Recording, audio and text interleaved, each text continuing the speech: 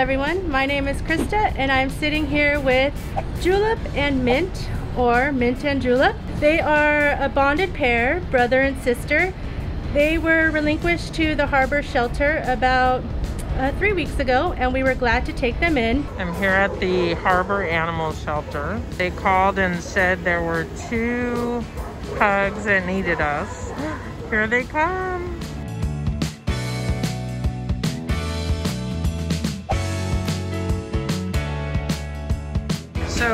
We named them Mint and Julip.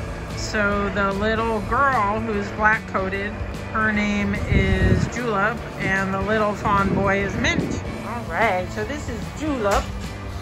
I don't think her skin issues are as bad as Mint's. And there's Mint, the little bit little boy. So we are treating them at the moment for some minor skin issues, uh, nothing that a good diet can't take care of, um, and some special baths, of course. See his whole underside. Not too bad. We'll fix him up really quickly. How about you? Is that your girlfriend?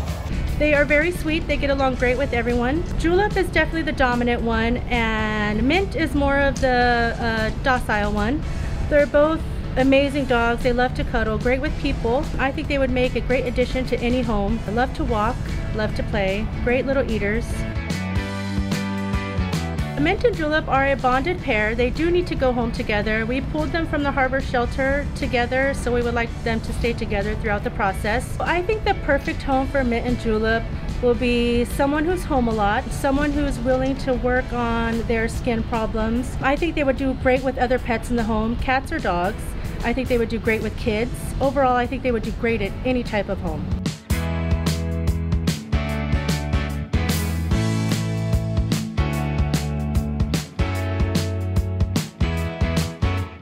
For more information on Mint and Julip or to fill out an application on these two, there is links down below. Thank you.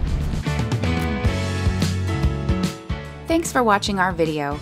For more information about our rescue, ways to help, or to complete an adoption form, links are down below in the description. While you're here, be sure to click that thumbs up and subscribe to our channel for more pug love. We'll see you in the next one.